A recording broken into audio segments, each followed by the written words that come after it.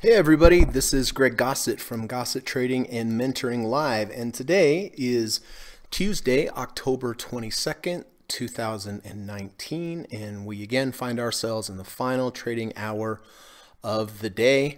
Um, as I mention each day, I believe that the prices as close as you can get them to, to the close of the day are the most valid prices. And that is because during the daytime, you have the algorithms, you have the day traders battling it out.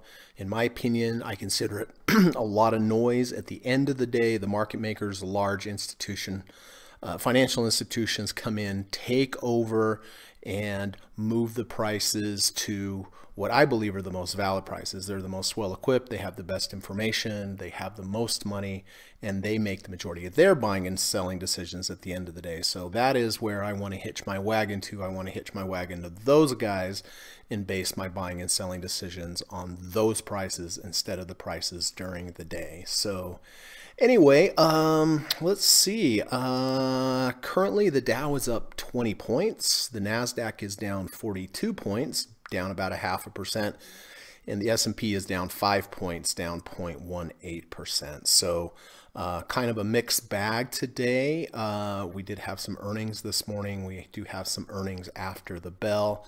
Um, of course, I've mentioned this many times, but uh, it is one hard and fast rule that I have that I never, ever, ever gamble in front of earnings, meaning I don't hold a stock position when the earnings are going to be in the afternoon or the next morning. It really is the quickest and fastest way to lose a lot of money in seconds. And, you know, as far as trading goes, our biggest goal, our biggest uh, uh, concern that we should always be fixated on is the number one is reducing our risk right? Of course, we want to make money, but actually making the money should be our second priority. The first priority should be conserving, conserving and preserving what we have in the best way. Like the literally the best way you can do that is not to hold stocks through earnings. So uh, anyway, I want to appreciate or I want to thank everybody for coming to this channel. I appreciate you spending your time here, investing your time each day. I hope it is helping um, and you're you know learning some good trading and investing principles. Um,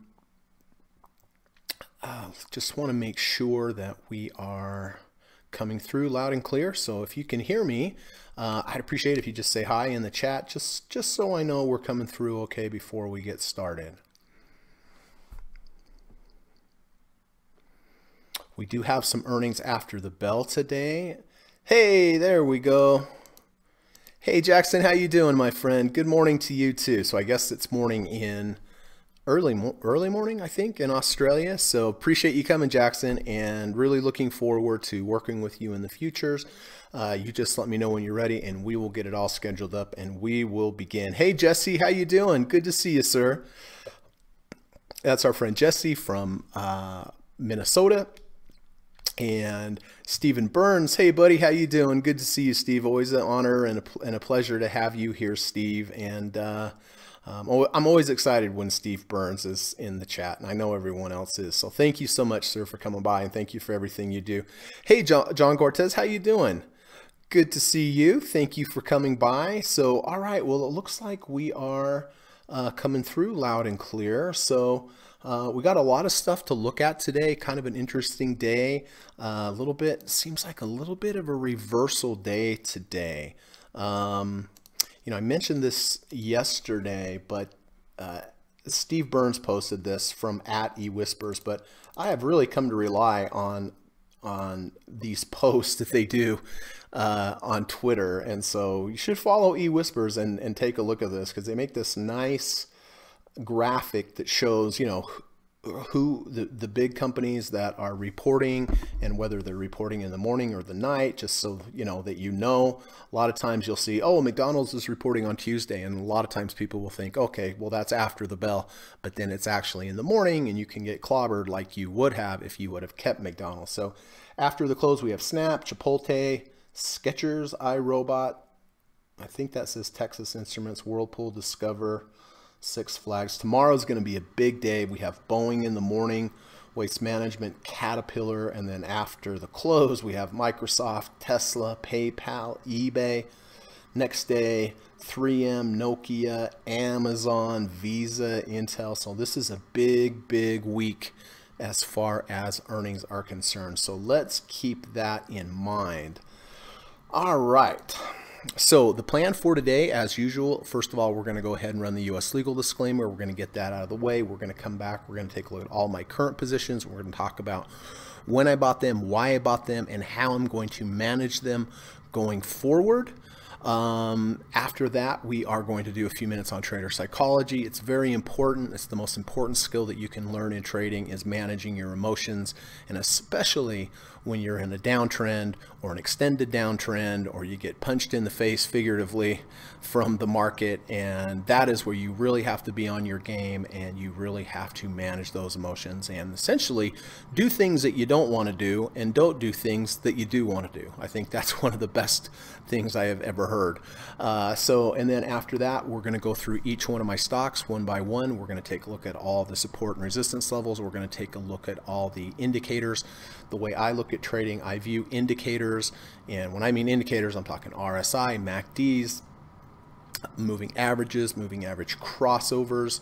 Um, I look at those as potential groups of buyers. So if I get a trigger, if one indicator tells me, okay, uh, you know, this possibly could be an entry, I, I just, I look at that as groups of buyers coming in. And if you want to put yourself in the best possible position to make money on a trade, you want to put yourself in a position when you have the most buyers possible. So if you can get a confluence or a combination of several indicators at the same time, the way that I view that, I view that as multiple groups of buyers coming in. And again, the more buyers, the better.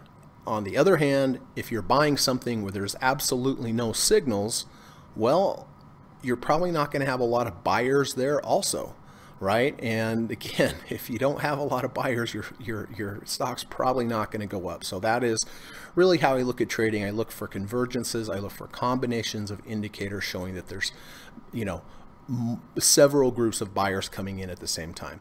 Um, we're going to go down through. We're going to look see if we can find some combinations of those indicators like I just mentioned. Uh, we'll go down through. We'll kind of do a quick draft through. We'll mark some possibilities and then at the end of the day, we'll go through those candidates with the fine-tooth comb and decide whether or not we want to buy them. And we might find something that looks really great, but we have to also consider do we already have any positions that are in that same industry? We don't, we don't want to have too much correlation. So you know these are the things you have to go through. You look at the risk to reward all that kind of stuff right? You might get something with a really good you know group of indicators but it might be too high in the ATR channel.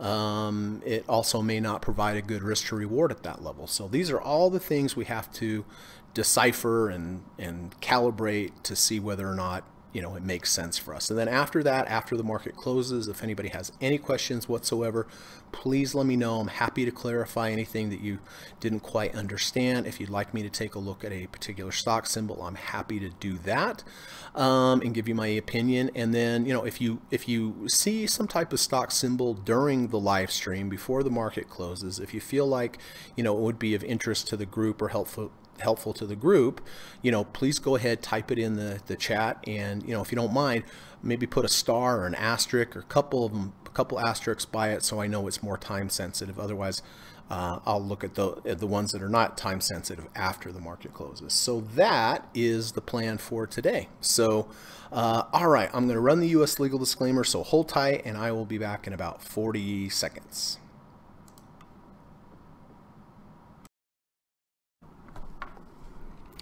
This video or live broadcast, like all instructional materials produced by Gossett Trading and Mentoring LLC, is created and published for informational and educational purposes only. Please carefully read and or listen to the U.S. government required disclaimer before watching this video or live stream broadcast. The video link and disclaimer text are located in the description section of this video or live broadcast, here and here. Thank you so much.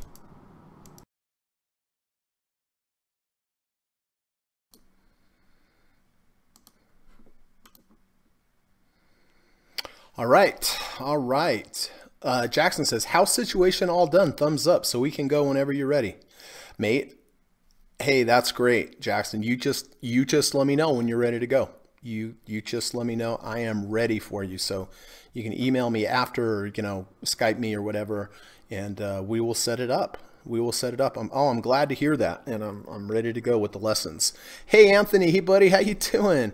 There's our friend Anthony from New York. Hello, all. The gang's all here. Yes, looks like we are. Good to see you, Anthony. Hope you're doing well. Hope everything's going well with your trading. You know, let me know what's happening. I, I'm very, in, I'm, always very interested to uh, know, you know, how my uh, clients' trading is going, what kind of positions they're they're getting, and how they're doing. And of course, you know, if I can be a help, I am available. So, all right, well, let's take a look real quick. Let's see here. So I only have three positions today. Um, IWM. So I did buy IWM, which is the Russell 2000. I bought it back here on the 15th of October. We had this close above the 200-day moving average, close barely above the 200-day, which is what I like because if I'm wrong, on the other side of that 200 day on a closing basis, I just go ahead and give out, giving me a small risk to the downside if I am uh, incorrect on the trade. In addition to that, we had a MACD crossover on the same day that this happened. I don't think I would have taken this trade just with the break above the 200 because it doesn't backtest all that well. But in conjunction with the uh, MACD crossing over, that is why I took it. And I was fortunate enough that it has moved up nicely. Um, we bought it here at uh, 151.39. We're at 154.29. Got kind of close to one of the profit targets today. Did not quite get there. Um, but uh, going forward here, uh, we are more than one ATR away from my entry. This is a discretionary trade, so it is more than more than one ATR away from my entry, meaning that if today we close below yesterday's low, I better just put a little mark there. Earlier in the day, that didn't look like it was going to happen. Now it does look like it might happen. So let's see, yesterday's low was 153.90.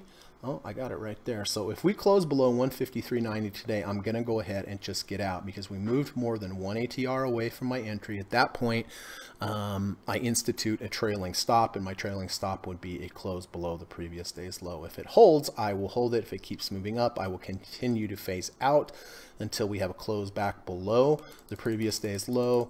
Um, if we got up here to the orange line, this is the previous high. If we rejected the previous high, this would also be a red flag for me. If it does keep going, rejects the 70, I will go ahead and get out and lock in profits there. If it just keeps moving up, then by the time it gets up to the 6 ATR channel or this or, uh, kind of purple line, I will be out of my shares. So that's what I'm going to do to the upside or to the downside. And if it just crashes back uh, below tomorrow, below today's low, uh, I would also go ahead and lock it in there. But I do phase out, so I was able yesterday to hit some at the very top here and here. So I've been able to phase out. All my phase out have been in the money, so uh, the market can't take that back away from me. And if the market does move down, then it mitigates the loss that I have. So that's the plan on Russell. Glad to see that it is up today, barely, but it was up much higher earlier.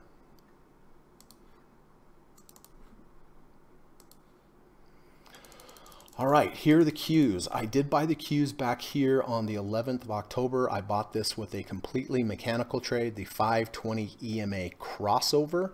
Uh, this is mechanical trade, so it's pretty easy. Um, it's either going to continue up, I'm going to phase out until I'm out of shares, or my stop will be a 5 crossing back below the 20. Um, did not hit a profit target today. Uh, you know, this is a bit concerning for me, and I'll tell you, it's one of the challenges I have with my trading is when I take these mechanical crossover trades because, you know, I see a lot of issues here. Uh, we tested, we got up and tested this high. We haven't been able to break above it. We rejected the second ATR channel. We have a V1 to the downside. All stuff that I don't like. all stuff that I don't like, but I do like to vary up my trading. I like to have some mechanical positions. I like to have some discretionary. I think it it smooths your equity out in the long run. I mean, you know, if this were a discretionary trade, I might go ahead and just get out today. I probably would actually, but then it might go roaring up and I would miss it right? So that's why I like to have some discretionary, some mechanical. Um, so this is mechanical, so I'm going to hold my hold my nose and just hold this trade and let the let the trade uh, work itself out in conjunction with my original plan, which is completely mechanical, five staying over the 20. So, you know, if we go down for the next three days, I'll be like, dang it, I should have got out. But really, I shouldn't have because that was my plan. So as long as the five stays above the 20, I will stay in. I will continue to phase out till I'm literally just out of shares or the five crosses back below the 20.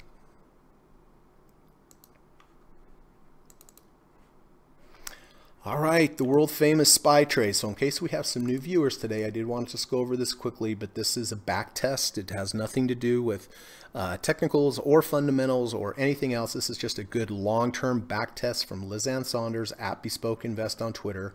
And with this back test, you have two options. Option number one is you can buy the SPY, the SPY ETF tracking every day at the open and sell it every day at the close. So from 1993, if you'd have done this every day, buy at the open, sell at the close, buy at the open, sell at the close. If you would have done this every day from 1993, for all your troubles, you would have returned a negative 13.9%. But if you do the opposite, which is what I do, and buy the SPY at the close, sell it first thing in the morning. So buy at the close, sell in the morning, buy at the close, sell in the morning. Every day since 1993, you've actually returned 634.2%. So past performance is no guarantee of future results. That is correct, and that goes for any trading methodology. Uh, but uh, you know what I find interesting about this is you know, this buying at the close, selling at the open, that means that all the gains in the S&P 500 have come from people bidding it up in the after hours, bidding it up in the pre-market, and selling into the open of the day. So that is why I do it.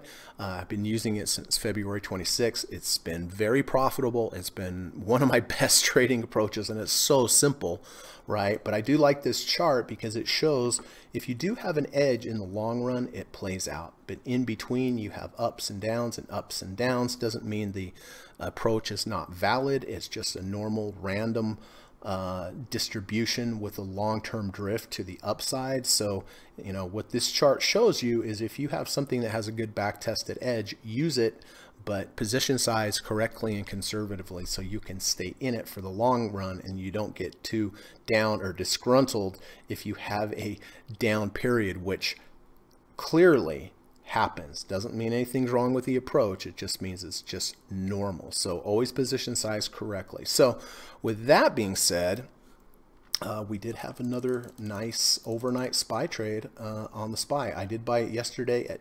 299.99 the very end of the day, and I sold it today at the open at 363 cents. So we made 64 cents per share on this. Not bad, and it has reversed since then. I actually hit a all-time high on using this approach yesterday. Uh, I didn't know what the numbers were until after the market closed and I did my accounting.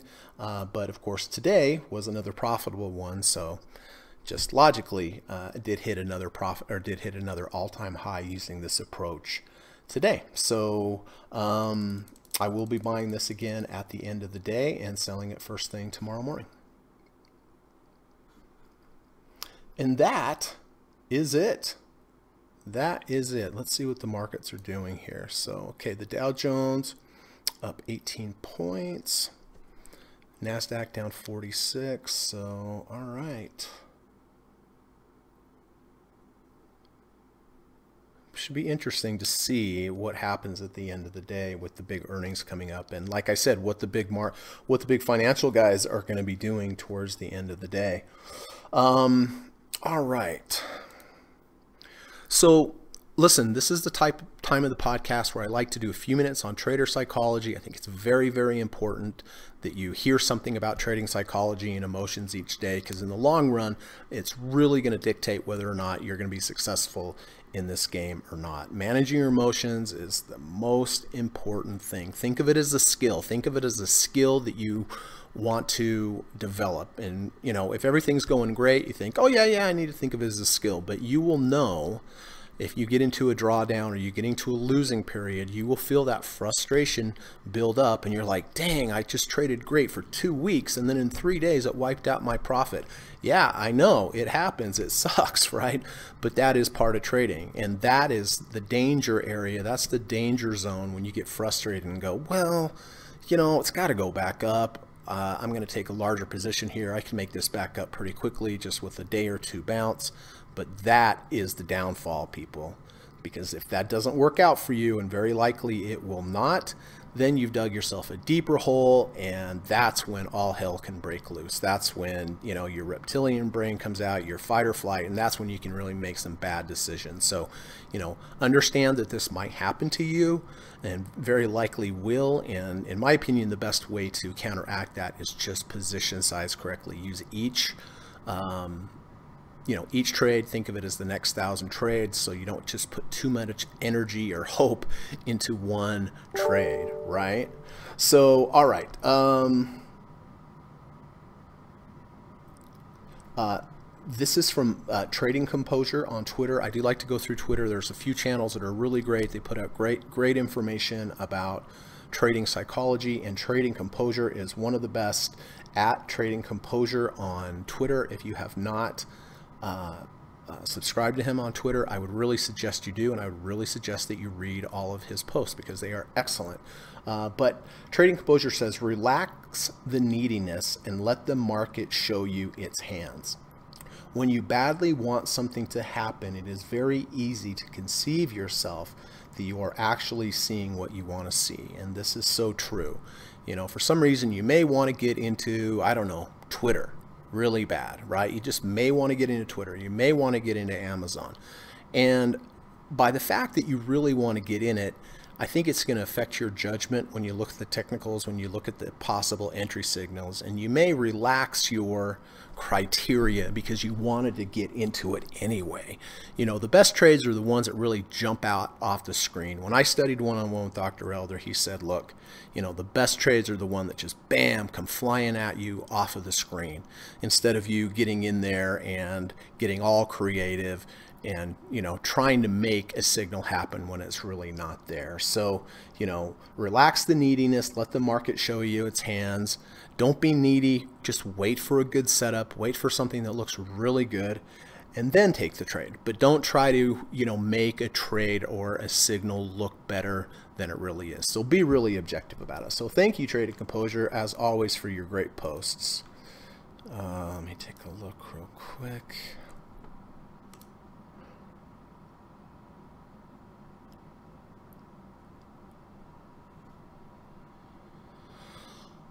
Okay.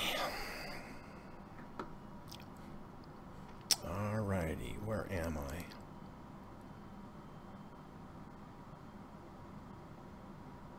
Okay, Jesse says, have been in, in Goldman Sachs since the 520 cross, performing decent, have had nice intraday gains last few days, but give them up and but give them up end of day, but still up. Merck took a dump on me today. We'll be offloading BIIB. We'll be offloading.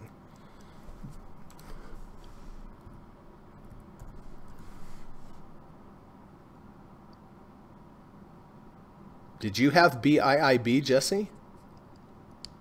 Or is that something to look at? wow, look at BIIB.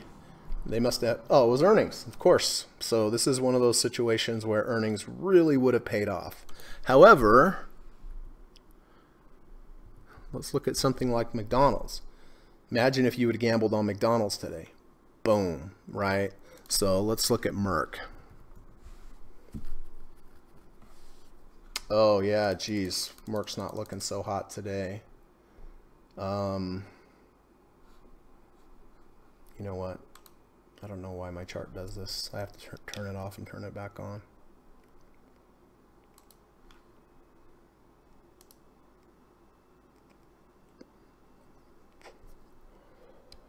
Let's make sure this works here.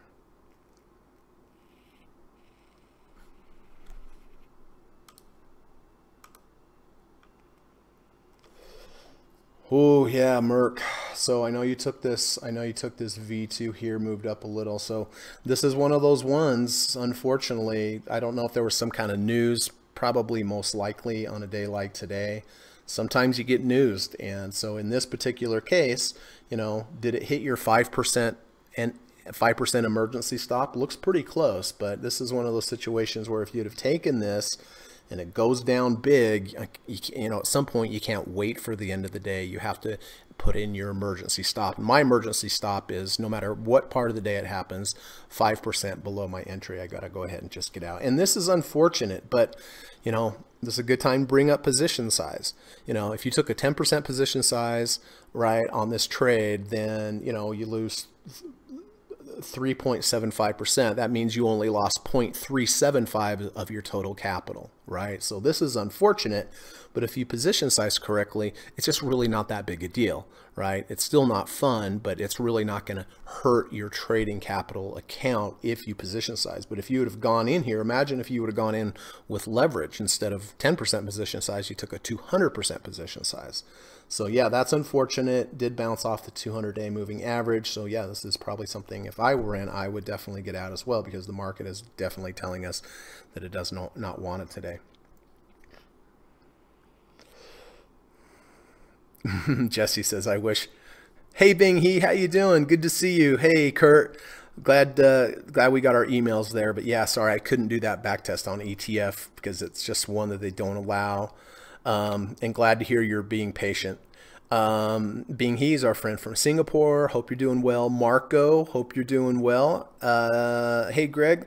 Jesse says, I wish one question. What's right, Greg or Greg? I use two G's, G R E G G, Marco.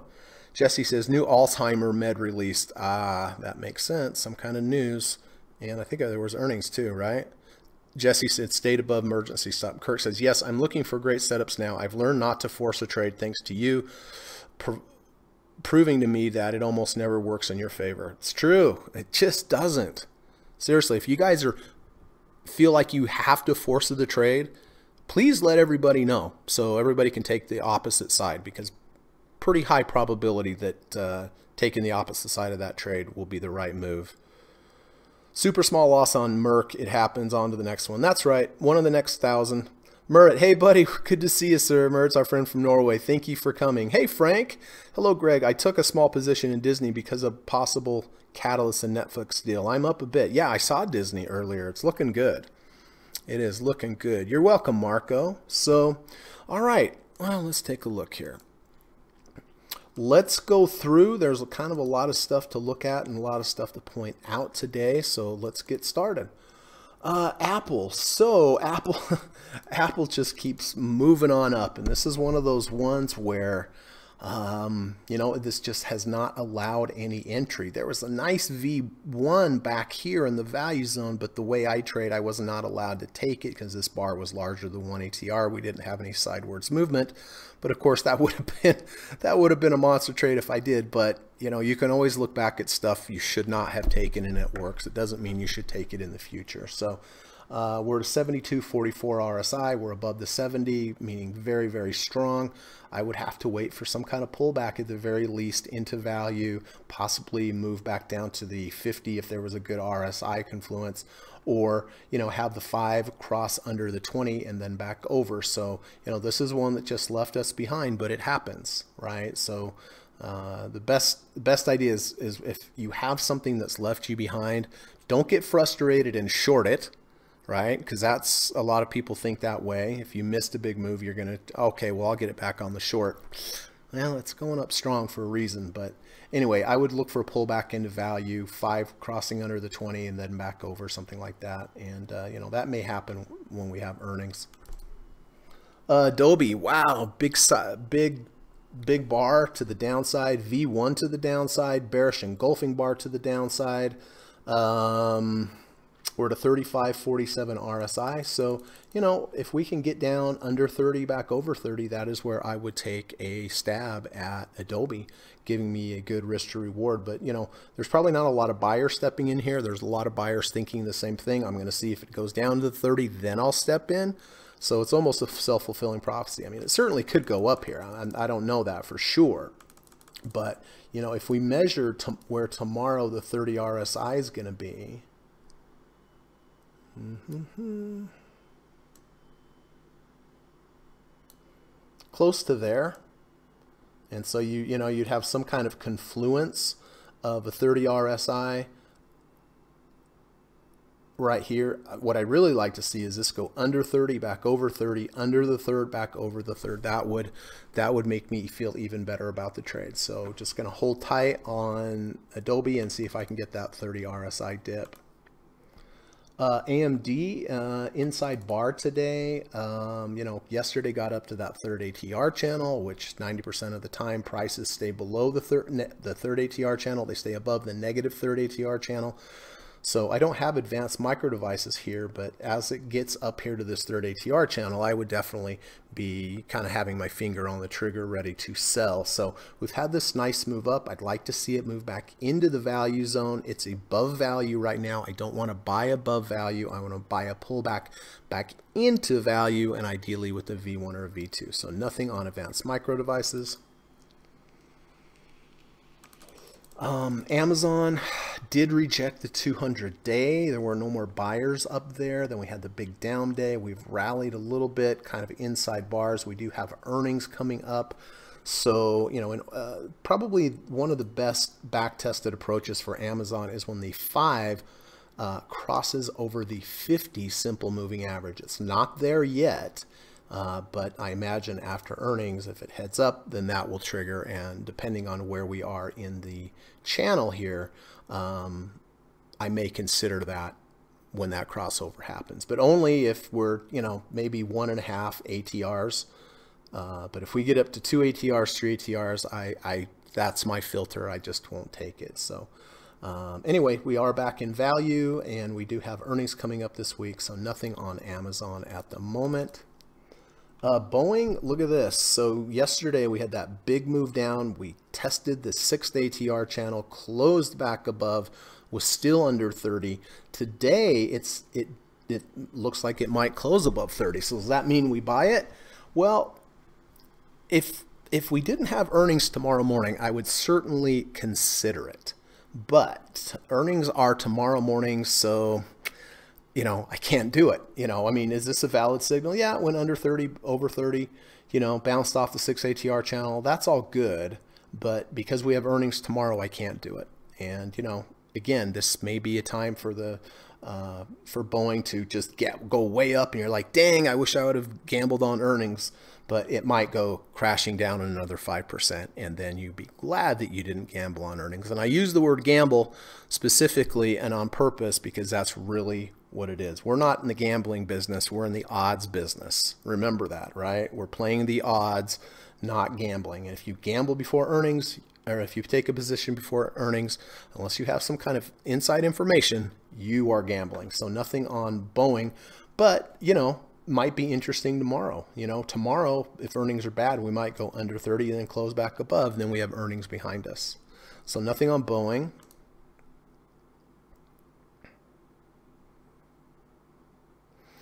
Johnny, hey, good to see you, Johnny. Johnny says, I got a UNH today, so you can stop trying to remember who has it in our group.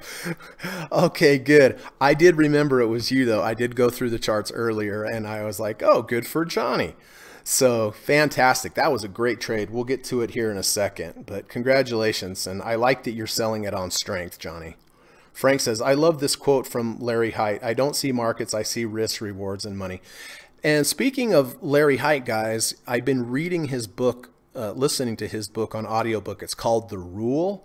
And Steve Burns actually uh, was on the back of the cover giving his comments on the book. Larry Hite asked Steve to do that, which is a uh, really great, right? I mean, it's a real honor to have Larry Hite have you review his book. But it's an excellent book, you guys. It's called The Rule, and it's on audio audible.com. I'm sure you can just buy the book on Amazon, but uh, it's a great book, and he talks a lot about asymmetrical risk to reward, everything we talk about, positioning yourself. So if you're wrong, you're wrong small, and if you're right, you have good upside potential. So I was glad to hear that. And, uh, you know, he also talked about doing risk to rewards, big upsides, small downsides, not just in trading, but in life, in your love life, in your business life.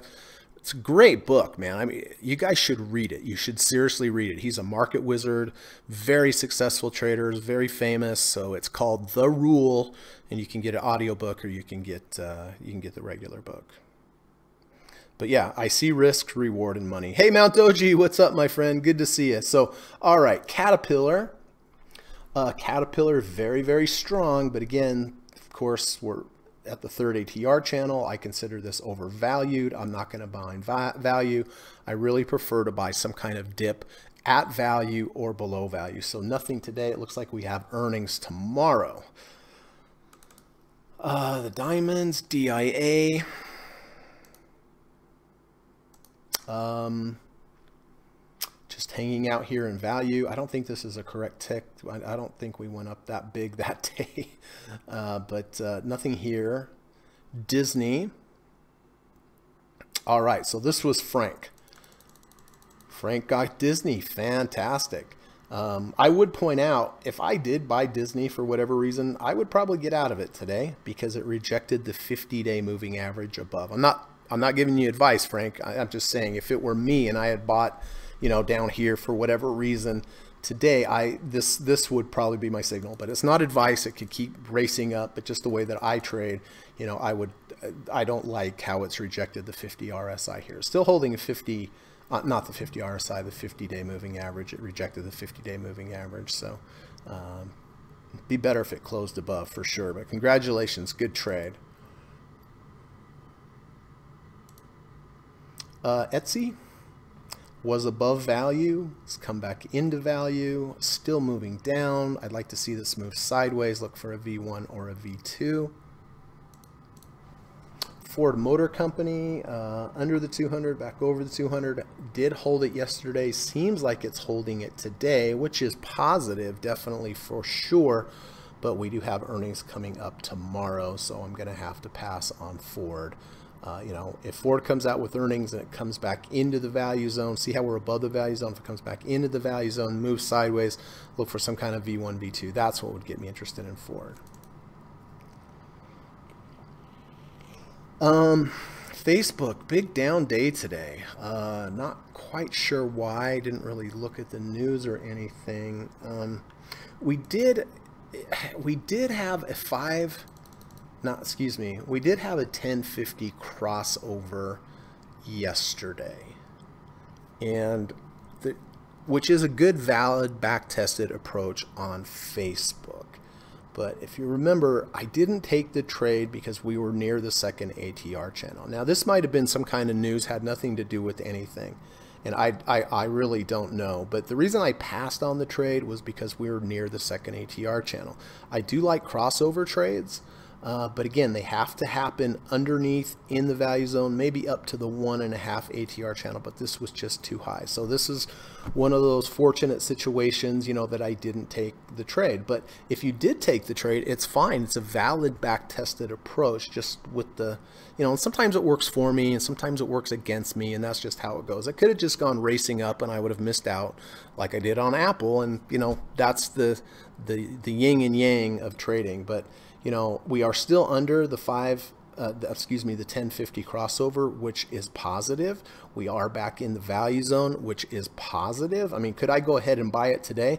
Well, I could because the, the 1050 cross is still crossed over, which is good, and I would just be getting a better price, but I don't like the price action of what happened today. So, you know, we're back in the value zone. We're under the 1050 cross. If we could get some kind of sidewards movement and, you know, a decent V1, V2, I would get back in the trade at that point. Five below, we were over the one ATR channel, so what I considered overvalued. I don't want to buy up here, and you know, good thing that I didn't. So we are coming back into value. I need some sidewards movement, V1, V2, and maybe we can go back up and test this higher, even move higher. So nothing there. Uh, gold, you know, we had this previous low, we tested this low, rejected this low, we've come back down. Looks like we do have a higher low V1 at this point, uh, but the here's day one, day two, day two washes out day one. It looks like might close above day one, although not for sure. So technically this would be a higher low V1. This is higher than this low, but it's not in the value zone and yesterday's bar, day one's bar is larger than one ATR, so I'm not able to take this trade. Uh, gold, uh, it's just really, it, well, it's essentially moving sideways, really, if you look at it over like the past seven, seven days. So it is moving sideways. I do expect this to move strong one way or the other. Just don't know when, and I don't know in what direction. Uh, if the 5 EMA crosses back over the 20 EMA, that will be my signal to go ahead and get in this trade. That's a good back-tested, proven approach to trading gold when the 5 EMA crosses over the 20 EMA. And, you know, if it happens way up here, I just won't take the trade. But if it happens in the value zone or lower, I will definitely take it. Uh, Google. So Google did have a crossover.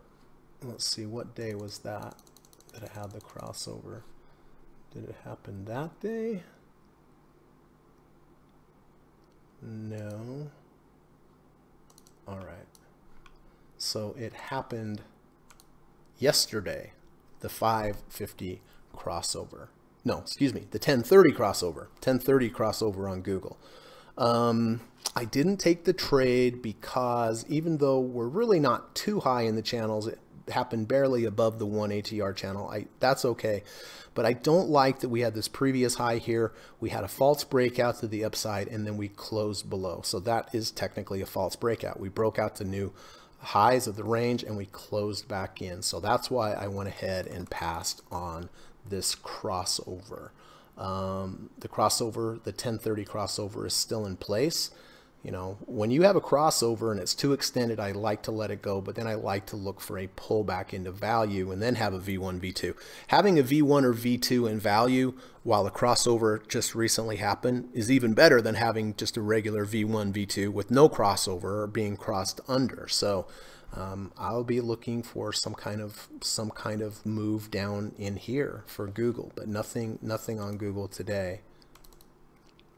Goldman Sachs, great. That's what Jesse has. Jesse took this five, 520 EMA crossover. This was a really nice V1 here uh, after earnings. I didn't I didn't take this because uh, I already I had Mastercard at the same time, but this has turned out to be really nice trade. It's definitely more than one ATR away from the entry. So if I had this trade, I would be looking to implement some kind of trailing stop at this point, you know, close below the previous day's low, rejection of the 70 RSI, rejection of, uh, you know, some kind of previous high, something like that. So uh, nice job, Jesse. Sorry about the Merck trade, but, you know, that's how it goes. Sounds like there was, uh, you got newsed a little bit on that one. But the key is keeping a small position size. So if you do have, you know, a bad trade like that, that it doesn't affect you big picture. And, you know, you, you stay in the game. Uh, IBB, um, I didn't take this crossover. Wish I would have in hindsight for sure. If I had taken this crossover, the 520 crossover, I definitely would be uh, most likely getting out today with this huge rejection of the 200 day moving average. Looks like we are higher than yesterday's close, but we are definitely lower than the open. That's a bearish reversal bar. That's not very bullish. So nothing there on uh, IBB. How we doing on time? All right. Intel has earnings coming coming up in a couple days. Did have a V2 yesterday, but the V2 is not valid. It's too high in the channel. And day one was larger than one ATR. Uh, IWM, of course, we bought over the 200-day moving average. It's been moving up nicely. Um, did not hit one profit target. We are more than one ATR away from my entry. So at this point, uh, I will start, start trailing this with a close below the previous day's low. Johnson & Johnson had that big down move. Uh, Kurt and Jesse and Anthony, if you're watching, remember when we have big down bars like this, very likely we're going to rally to halfway and run into some Fibonacci resistance approximately what happened. It tried to get to about halfway of this bar and then failed. So nothing on Johnson & Johnson. Coca-Cola had great earnings and then it reversed back down. we are back in the value zone. Uh, looks like we have kind of held support here for a couple days. So going forward, if the bars continue to narrow and I get some kind of V1, V2, I'll be ready to go. But nothing today. Lockheed Martin. So Lockheed Martin's interesting. And if you guys know anything about triple screen from Dr. Alexander Elder, you, you look at charts in three time frames. You look at them, like for me, I look at the monthly, the weekly, and the daily. And monthly, which is the largest, is this in an uptrend? Absolutely is in an uptrend. Do uptrends have moves back into the value zone? Yes, they do. So if you look at the weekly chart, the intermediate term chart, see how we're right back down in the value zone? So, you know, monthly having a nice big, you know, certainly an uptrend, right? No one can say that's not an uptrend. On the intermediate time frame, we are back down into value zone, which is what I like. This is what this was what looks good. So, you know, when you have that two setups, then you look at the daily, you look for an entry well,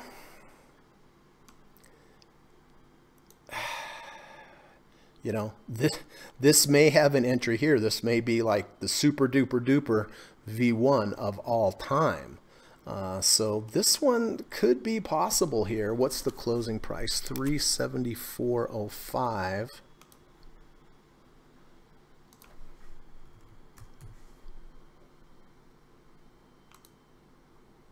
And if you guys have any other, you know, I, will talk a little bit more about triple screen in a minute. It's not, it's not a huge thing, but I did notice this is perfect triple screen. Long-term trend up, intermediate term in the value zone, and then I'd want to, you know, to get in the trade, I'd want to go on the daily, but I have to look for some kind of potential. And, you know, it's at a 3840 RSI. So, you know, where would my 50 RSI, where would my theoretical profit target be tomorrow? The 50 would be about there.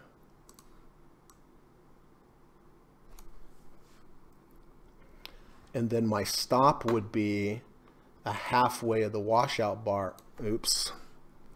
My stop would be halfway of the washout bar, which would be about here. So does it give me two to one? Let's see. So it gives me about a 1.06 theoretical loss and it gives me a 2. Yeah, I mean, you know, close enough. It's about 2 to 1. It's close to 2 to 1. So, um, you know, might be interesting on Lockheed Martin. Let me quickly run some numbers on this.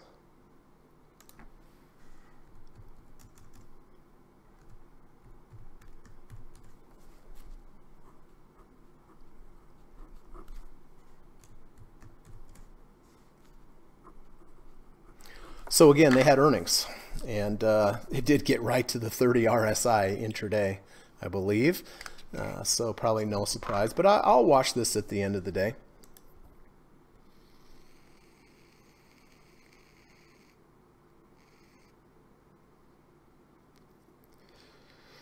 Whew. Look at MasterCard, everybody. Pretty brutal. Pretty brutal. So we're to 38 RSI, you know, I, I would be looking to see if we could get a confluence of a 30 RSI in a third ATR channel. That is what I would be looking for right down in here. And that might be a really good dip buy on MasterCard, but nothing there today. I'm not sure what's going on with MasterCard, but pretty nasty. McDonald's. Oh.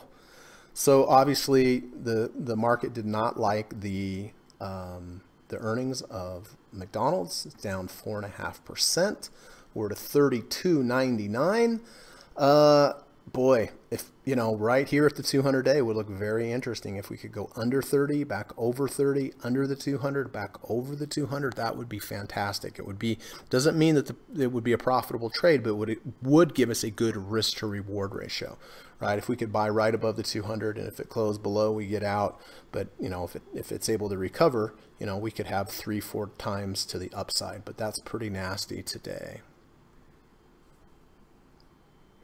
Hey, I see your I see your comments there about the 250 day and the 200 day and why they don't match up. And the reason why, guys, is on some trading platforms, some platforms adjust for dividends. and some do not. Mine are adjusted for dividends, so it takes the dividends out of the price.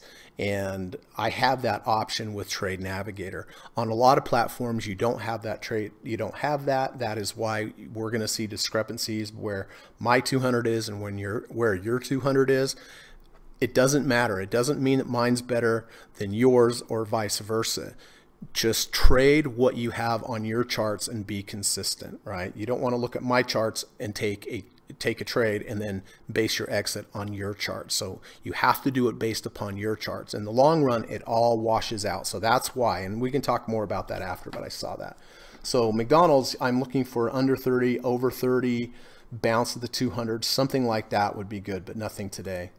Uh, Altria, super strong. This is the trade that got away from me down here. Dang it. But there we go. It's cranking. It's cranking. Uh, so there's Merck. There's uh, the one that Jesse had, unfortunately. And um, probably some of that other news with maybe that other company is what hurt Merck. Maybe some kind of competition. But anyway, yeah, I would definitely be getting out of that today. Microsoft, you know, we were above value, into value, moving sidewards. V1 engulfing bar to the downside is not positive. We've lost the 50 RSI. Uh, earnings are coming up, so don't want to get involved with uh, Microsoft at this point. Netflix, um, we were above value. I'd like to see this move sideways. V1, V2, rejecting the 1 ATR channel would be great. Uh, okay, Nike. Uh, Nike strong, but it's above value. Need to see it come into the value zone. Philip Morris down a little bit today, very strong. Did lose the 70 RSI, however. PayPal, my goodness. Look at that, everybody. Uh, we do have a double bottom with the bullish divergence, but we have earnings coming up, so I really can't do anything before earnings.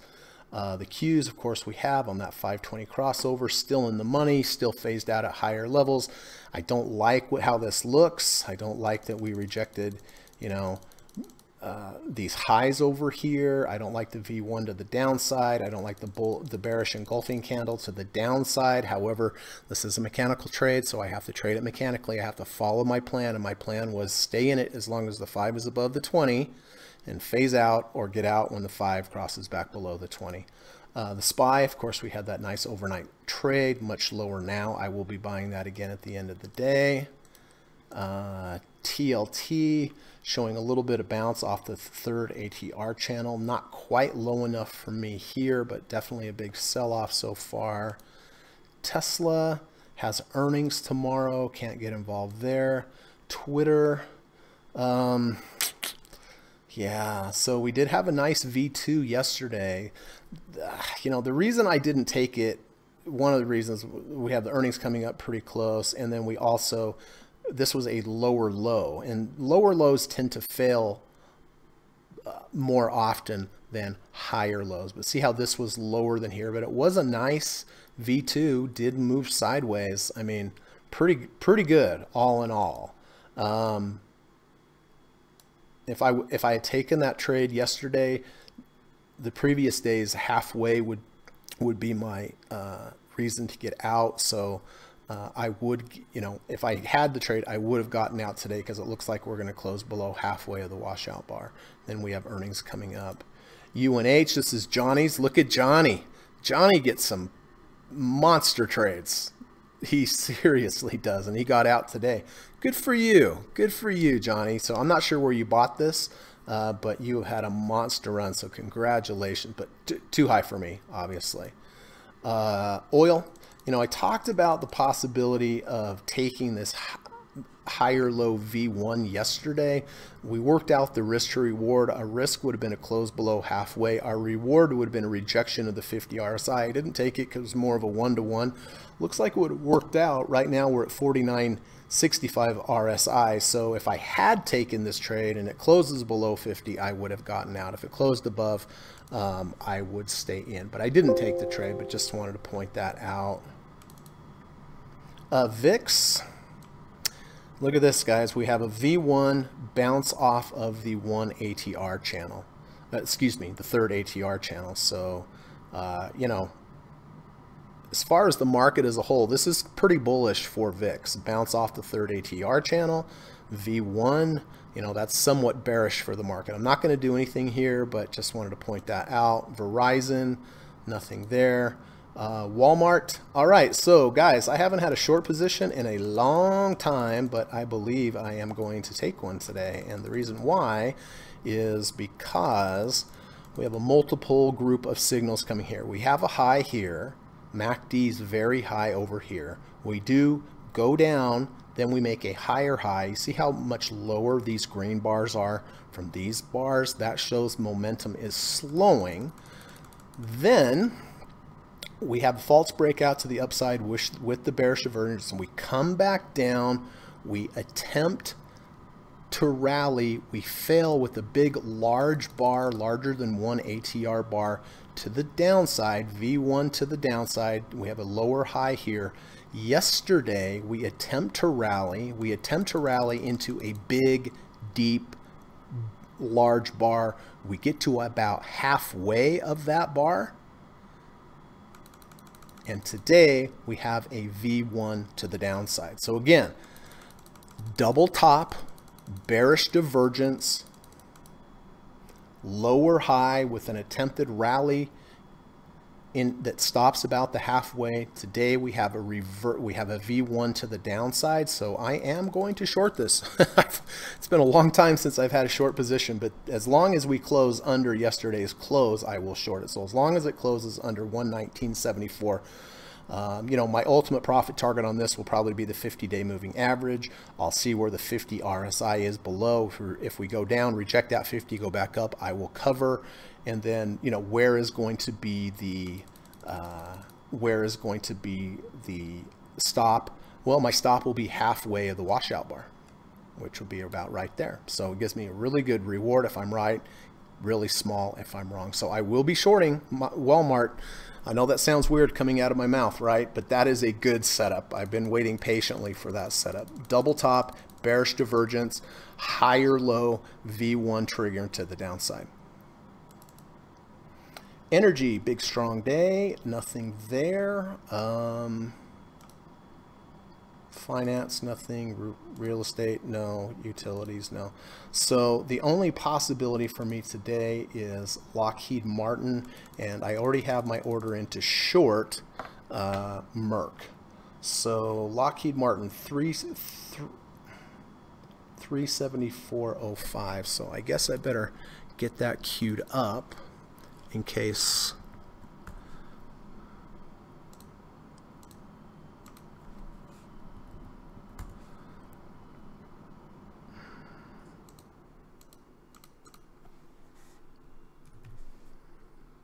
Okay.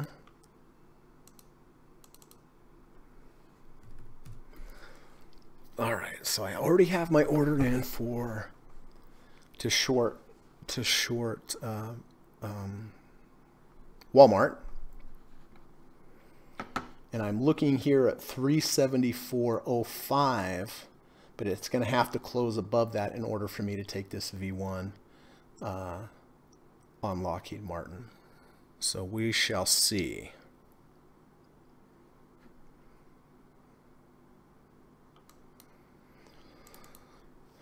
And Walmart over here with the close below 119.74.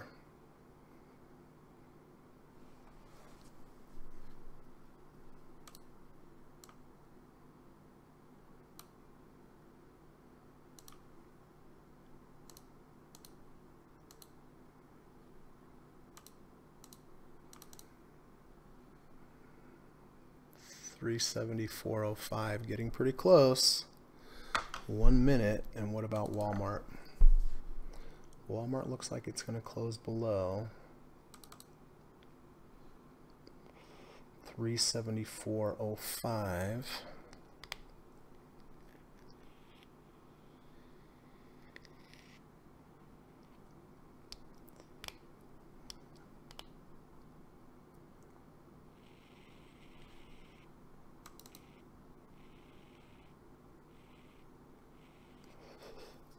Walmart is fine, it looks like.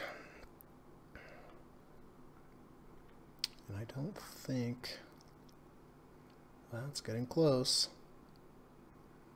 Got 15 seconds.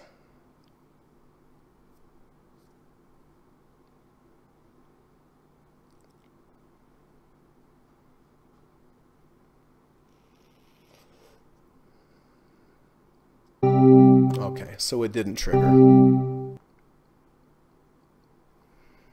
It didn't trigger. All right, so nothing on Lockheed Martin.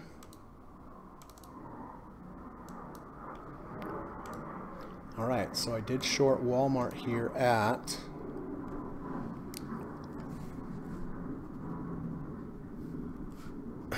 one nineteen fifty seven.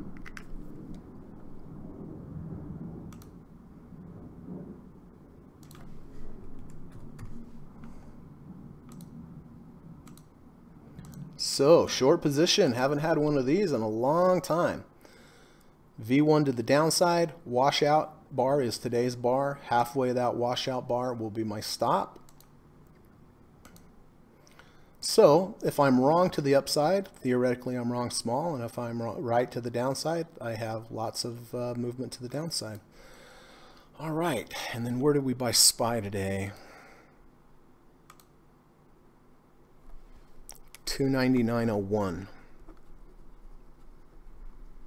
So glad that we, you know, hit a yearly high, all-time high on the overnight SPY trade today. And you can see, you know, we bought at 299 yes, to, yesterday, sold at 363, and then we entered, re-entered again today, 299.01.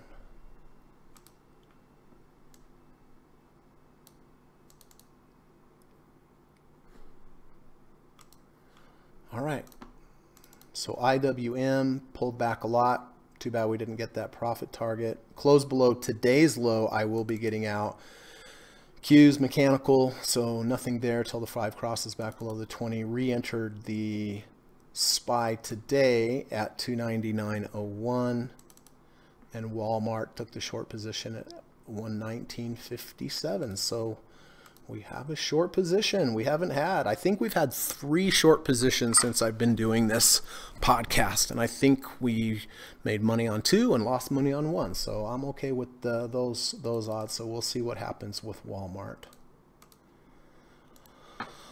Oh boy, I feel like I've been talking forever. You guys are probably like, stop. So listen, before we get to questions and answers, I do want to just quickly put in my daily little plug. Let everybody know that I do offer private one-on-one -on -one coaching, teaching, and mentoring lessons at nighttime via Skype. And you know, what I do here on the podcast, I teach you everything I know, but the real advantage of doing the one-on-one is the interaction back and forth, right? I, I teach, ask you questions, you know, you have to teach it back to me, puts you on the spot, and it really shows me whether or not you really understand what I'm talking about. So when you, if you do live lessons with me, there's lots of back and forth. You know, I have you break down charts, analyze this chart, what's positive, what's negative, what's the risk to reward ratio, you know, what's your plan? I help you put together a real real solid plan as far as, you know, position sizing, looking for red flags, uh, you know, in your trading, when to possibly get out.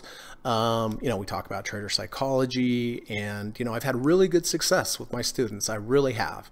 And, you know, they come out of it much with a much better understanding of what really trading is about and how I trade when we do the one-on-one. So, you know, if you feel like maybe you're ready for uh, one-on-one lessons, uh, I think you'll enjoy them. I really do. I think you'll think it was worth the investment. I think it is a good investment in really learning a skill. So if you're interested, please reach out to me. My email is in the description of this video, or you can send me a message on Twitter. Um, and then, you know, if you are interested but not sure, then I like to do like about a 30, 40 minute Skype call with potential clients just so that they can ask me questions. I can ask them questions. How'd you get into trading? What are your challenges? What do you think you're doing wrong? What are your goals?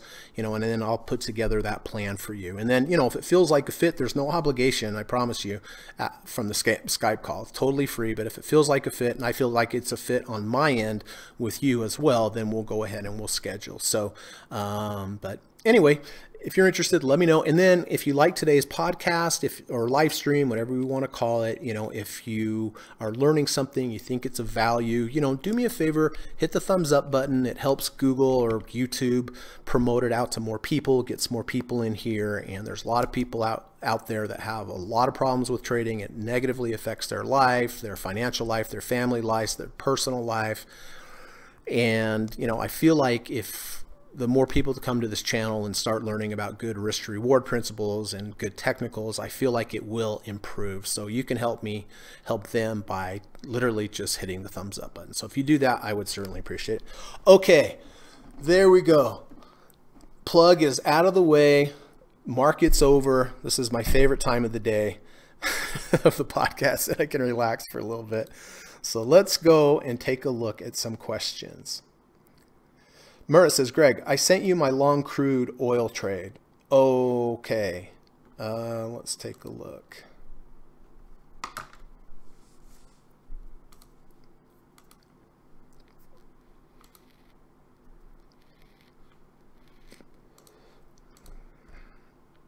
Oh, maybe you sent it on. Let's take a look.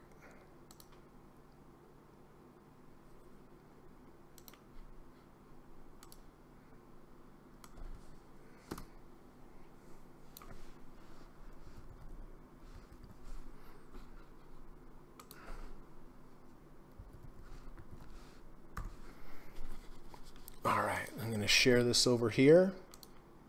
We can take a look and see what Murat's doing.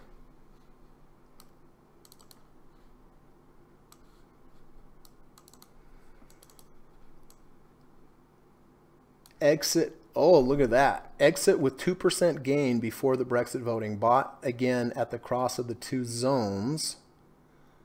So you bought it here where the price tends to turn. I bought it the wrong place. I I should have waited one more bar even was at the same price. Price expanded due to OPEC cut announcement. Number four still holding. Oh, oh, you exited here at one. You bought at two.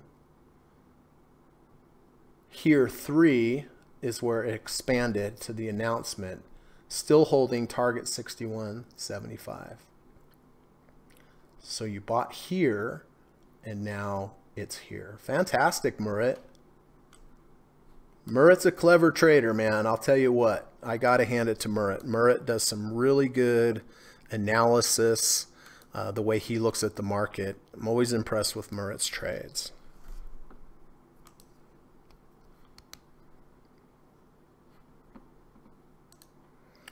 Jackson says, another example, Merck, which hit your 200 SMA, but on my software and barchart.com, it is the 250. Yeah, that's what I was talking about before, uh, Jackson. Um, look, if I if I change my uh, settings over to see how it says show prices unsplit, yours are unsplit. So if I move mine to unsplit, See how it's different? And it probably looks exactly like yours.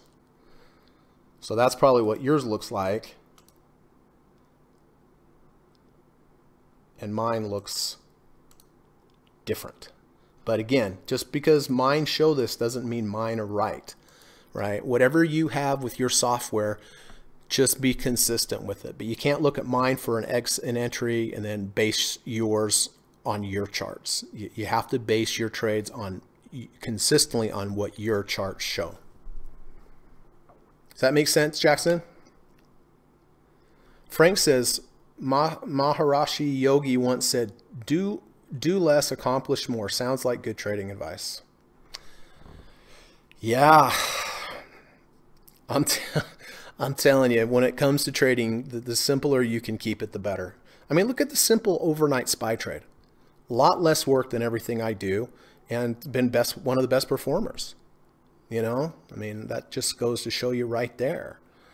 So I, you know, I think if people looked at their charts and said, I am not taking a trade unless it is really great, really good, really jumps off, uh, you're not going to have as many trades. But of course, the more trades you have, you know, a percentage of those are going to be losers. So just by not taking as many trades, you're going to have fewer fewer losers, right? Murat says Lockheed tested 100. Yeah, it did. It did test the 100, and you could buy it there, Murat. Uh, it's just that I would I would like the entry price of Lockheed Martin to be closer to the 30 RSI at the same time it's closer to the 100 day moving average. We went down, and I'm not sure where we got today, how low we got about a 30 RSI. Imagine that, right? So buyers stepped in. So, uh, but you know, if I would have bought intraday using the 30, obviously it would have worked out really well. And it did test the 30 and it did go back over, but I would like to see the price be near 30 at the same time it's near the 100 day moving average. Now we're at 38.66. So I'm not saying it's not a, a good move. And I was going to buy it today if we triggered the V1. I would have because the risk to reward would have been decent, would have been about two to one. But um, that was my, my final filter on this trade. It was whether or not we closed above yesterday's close. And we weren't able to do that. So if we had, I'd have felt better about the trade. Bill Richardson. Hey, Greg, how you doing, Bill? Nice to see you. Thank you for coming by. I've been listening every day. If you have a minute, can you check out ALXN? I have it undervalued and is currently in the value zone. Thanks. Sure, let's take a look.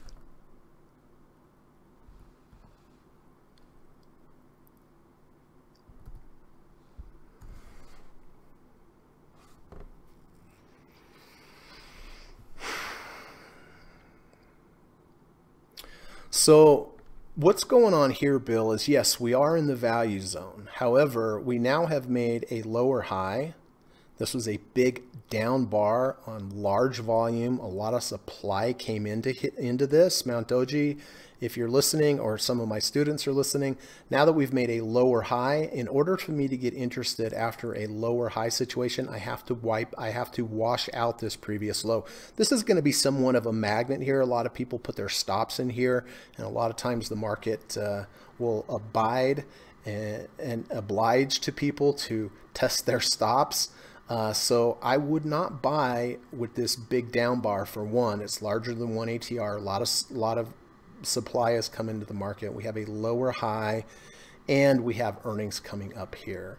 You know, real quick, what I would be looking for if I was to buy this pharmaceutical company based upon this is a test of this previous low down here and having a bullish Mac uh, bullish MACD divergence, double bottom with the bullish MACD divergence. So at this point right now, either one, I'd have to wash out this low, have it move sideways V1, V2, but uh, really my honest opinion is somewhere down in the 94 range is where I would be looking to buy this if I got a signal. Still have to, still would have to have a signal, but if we could get down here, we would have a double bottom with a bullish divergence and then look for some kind of V1, V2 entry. But I wouldn't do anything with it here, Bill.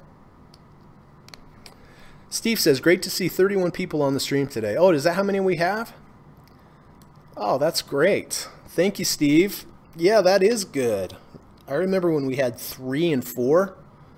I remember when it was Dr. Jorgensen and I only.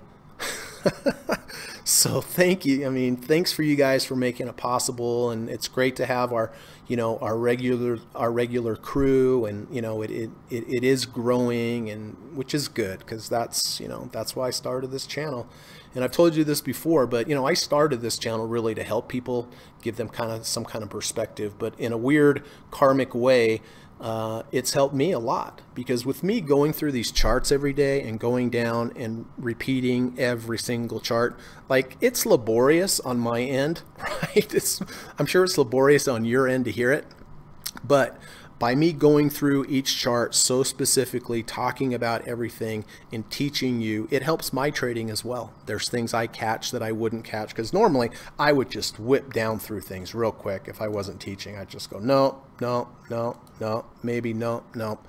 But you know, it it has helped my trading. I've never I've never traded better uh, than when I'm doing this, so it's a win-win.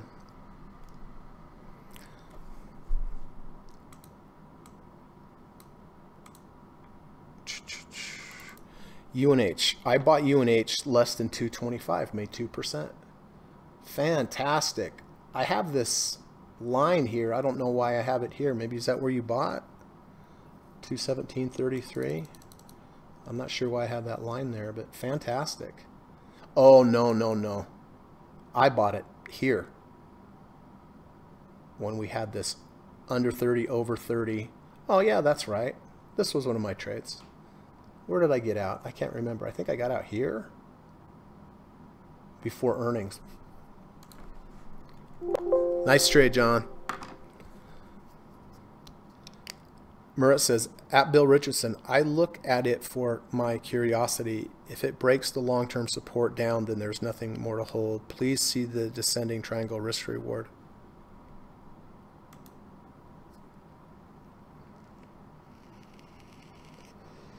John says, I miss the English guy. Me too.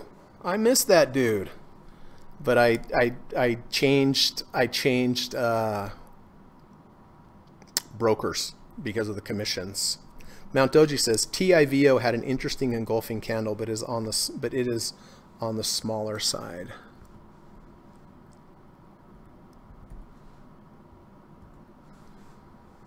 Oh, that's not even close.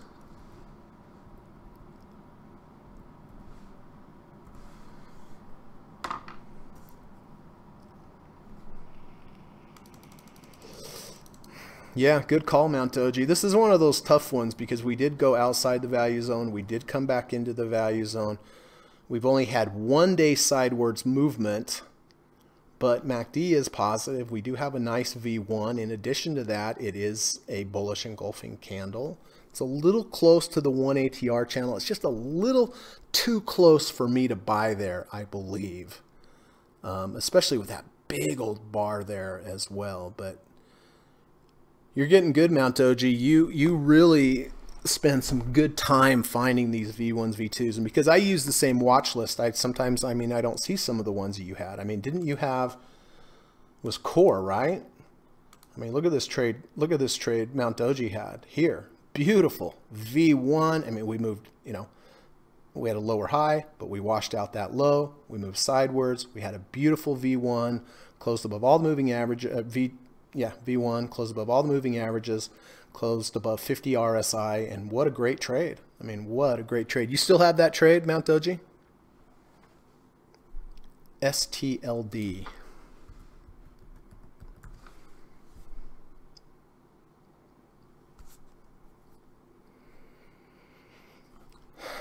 All right, so steel dynamics. Um, V1 bullish engulfing candle. Again, for me, a little close to the 1 ATR channel. And this bar here was larger than 1 ATR. On the, uh, on the bright side, we did close above 50. So anyway, I mean, it's good, right? I mean, we better than buying overvalue, you know, but good. You know, it's a V1. I'd probably use halfway to the washout bar as my stop, see how it reacts around the 200. Oh, you got it in intraday. Okay. Oh, you're welcome, Murat. I truly mean it. You are a good trader, my friend.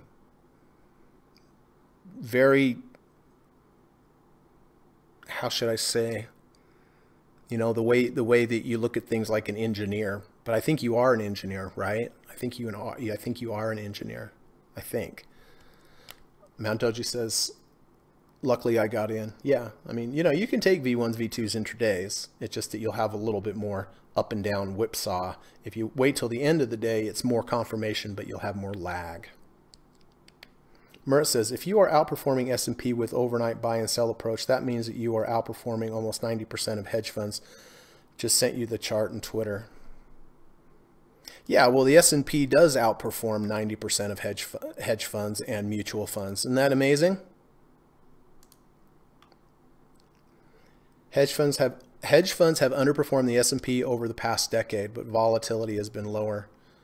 Yeah, so we sent a chart showing that the hedge funds have outperformed the S&P. Yeah, I mean the S the S&P is very strong, hard to beat, you know, and uh, it outperforms mutual funds.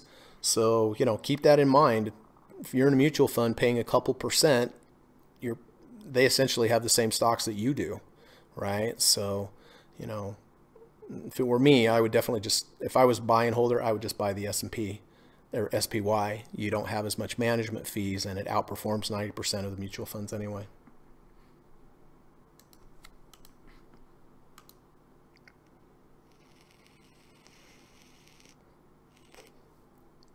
Murat says one becomes expert by reading by repeating only 10,000 hour formula. That's right. Whether you're trading, playing the guitar, throwing pitches, you know, you got to get those reps in. Bill says, great, probably less on technicals and more in that the financials would lead me to believe it is undervalued probably in the long term. I thought it was going to close above the 20. Thanks for looking. You're certainly welcome. You're certainly welcome. But I would I would be looking for that double bottom, Bill. That that's to me when I look at it, that's my first thought. Mount Doji still have some core left. All right, good. Glad to hear it. Have you been phasing out? It sounds like you have been phasing out a little bit. Look at that sweet trade Mount Doji had. Your podcast was awesome, by the way. Oh, good. Great. Which one did you listen to, Mount Doji? Was it the was it the uh, uh, How to Trade Stocks and Options podcast or the Alpha Mind podcast? Oh, Snap miss earnings. I haven't looked at Snap for a while. Okay, this was yesterday's chart. Let me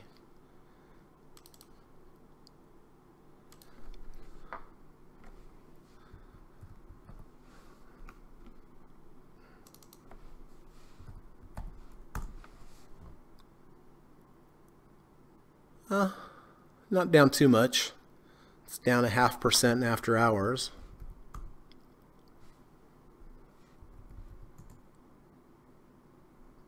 Amazon's down after hours. That probably means the Qs are down after hours. Yes, they are.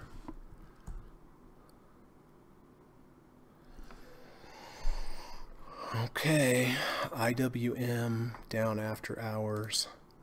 VIX is up.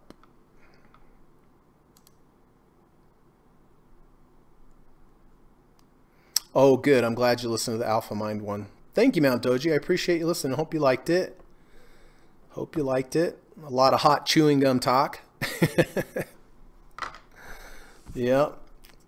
We've got to come up with some trader gum. You know, one of the gums that one of my initial gums was called Buzz Gum, and uh, it had guarana in it, similar to caffeine, and so it was one of the first caffeine products, if you can believe that, back in the back in the early 90s you know, now you have all these caffeine products, you know, obviously with all the drinks and everything. But back then, Buzz Gum was basically like the first caffeine gum. And boy, I'll tell you what, it really took off.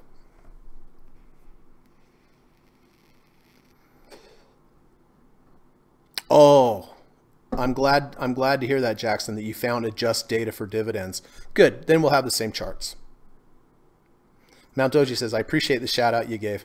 Yeah, I'm glad they gave me the opportunity to do that because I really appreciate you guys coming every day. I really, really do. So I did want to say hi. Oil is pushing up. All righty. Well, look at VIX. VIX really took off. I mean, bounced off the third ATR channel and a nice V1 37.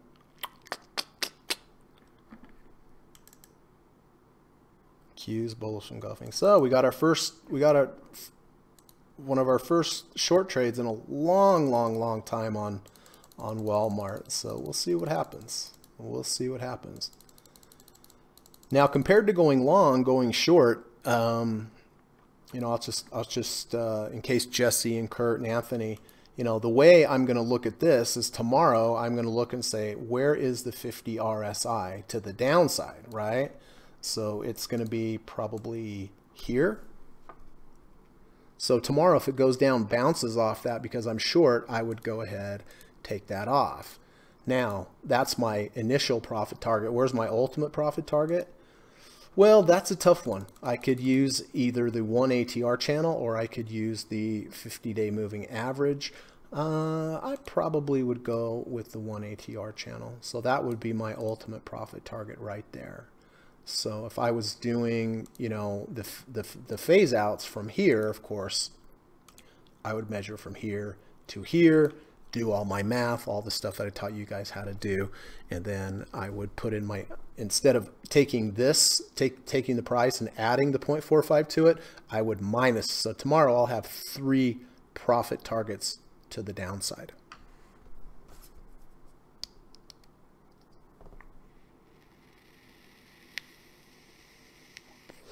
Was it before nicotine gum? Uh, no, I don't think so. That's a good question. Maybe it was, maybe it wasn't. I don't remember getting the idea from nicotine gum, though. I can tell you that. I can't remember. But we went on to make nicotine gums, Murat. We went. We actually went on to make nicotine gums ourselves. I'll tell you what. This doesn't have anything to do with trading, but we built a big chewing gum factory, state-of-the-art stainless steel chewing gum manufacturing facility in Phoenix. And we, you know, we had this beautiful lab and I was traveling back and forth from Arizona to Utah. I went in the lab and there was this big bowl of gum and I was just used to, I was a gumaholic and I would go and just grab a handful and just chomp chomp chomp chomp jump. And so I just saw, oh, what's this? I smelled it. Mmm, smells pretty good. Smells mint. So I just grabbed it out of the lab. I grabbed a handful, put it in my pocket, took a taxi to the airport. I'm chomping on the gum on the way to the airport. All of a sudden, I start feeling really dizzy and really sick. And guess what I picked from the lab? Nicotine gum. I was so sick. I was so sick I could barely get on the plane.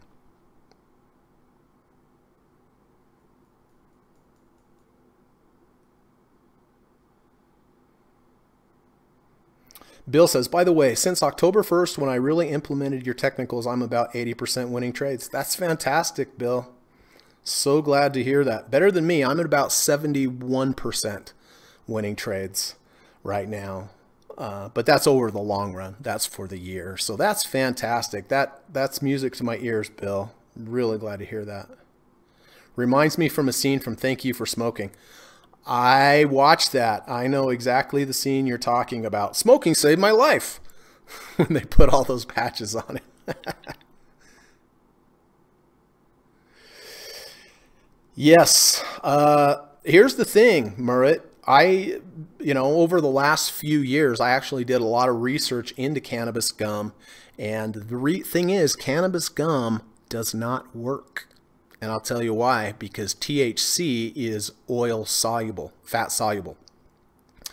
And if you put a fat soluble drug into gum, it does not come out. I spent several years back and forth to Colorado working with scientists there because you know they they they wanted me to help develop something since it, since it had become legal but it doesn't work doesn't work. It stays in the gum. You do all the tests in the lab and you'll see that it does not it does not come out. But yeah i mean that was the obvious you know when when everything became legal there was people wanted to make all sorts of different kind of products. And so you know they contacted me as far as you know looking at possibly making this. But i don't think you're going to see a lot of cannabis gum because it's fat soluble does not come out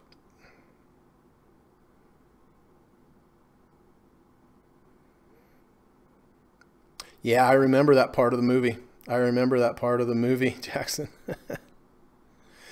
All right, everybody, I'm going to get out of here, go for a hike. Um, Jackson, thank you so much for coming by. I appreciate it. Murat, thank you, sir. Uh, good good uh, trade on your oil. Hope hope that keeps going up. Bill Richardson, really nice, kind words. Appreciate you, and uh, really glad to hear that that your winnings have have have taken off like that. Really great. Mount Doji, good seeing you, my friend. Hope everything is well in Texas. And let's take a look here. Uh, John Cortez, appreciate you coming by. Michael Neal says message retracted, but anyway, thank you for coming by. Uh, Johnny, congratulations on your nice UNH trade. And Frank, um, I am too patiently waiting for TLT, as a matter of fact. I am definitely waiting for TLT. And, you know, we talked about having a 30 RSI 100 day moving average confluence. If we get down here, it'll be interesting. We won't be quite to 30, but uh, be interesting to see what happens there. And Bing He, thank you coming for, for checking in from Singapore. Steve Burns, great to see you, my friend. And thanks for everything you do for everybody. Really appreciate it. If you guys haven't subscribed to Steve Burns at S Joseph Burns on Twitter, best Twitter channel out there. So definitely subscribe to it. Um, Marco, good seeing you, my friend, from Slovenia, right? And uh, if I can ever do anything for you, Marco, uh, please let me know. If you have any questions, you know, you're not comfortable sharing in the chat, you can always send me an email. I'd like to help you any way I could, okay? Uh, Jesse, good seeing you, sir. Thanks for your service. And Kurt, thank you for your service and everything that you guys do. And um, uh, tough on that Merck today, but uh, you know, I'm sure it was with a small position size, so it's definitely recoverable, and sometimes that happens. But uh, you know, you got you have any questions, Jesse? Anything I can help you with, Kurt? Uh, you know, you guys just let me know. All right. And uh, did I get everybody? I think I did. If I didn't, I apologize. Jackson says, cheers, Greg. Have a good hike and let's tee up on the time and date on Skype. Yep. Okay. I will definitely look at that. And um, yeah, I'm ready to go. I mean, we could even, we could even do it tomorrow if you wanted to. So uh, I'll take a look at that and we can, we can correspond uh, privately. So, all right. Good night, Anthony. Good seeing you, my friend. Hope everything's well, bud. All right. Have a good day. Go out and do something nice for somebody today. And uh, hopefully see you guys tomorrow. Take care. Bye bye.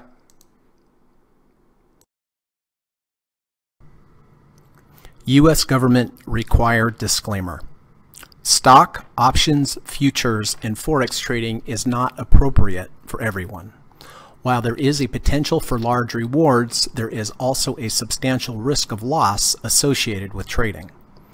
The material in this video or live broadcast is not geared towards any particular individual or to any particular financial situation and is not intended to meet the particular investment objectives of any viewer. This video or live broadcast, like all instructional materials produced by Gossett Trading and Mentoring LLC, is created and published for informational and educational purposes only any and all information contained in, implied, or referenced by this video or live broadcast is not to be construed as investment advice, and no representation is made that any individual or entity involved in production of this video or live broadcast is an investment or financial advisor or is registered or authorized to give any financial advice. We are publishers and educators only. Therefore, the various producers of this video or live broadcast will not accept liability for any loss or damage of any kind which may arise either directly or indirectly out of the use of any of this material, including any loss of profit.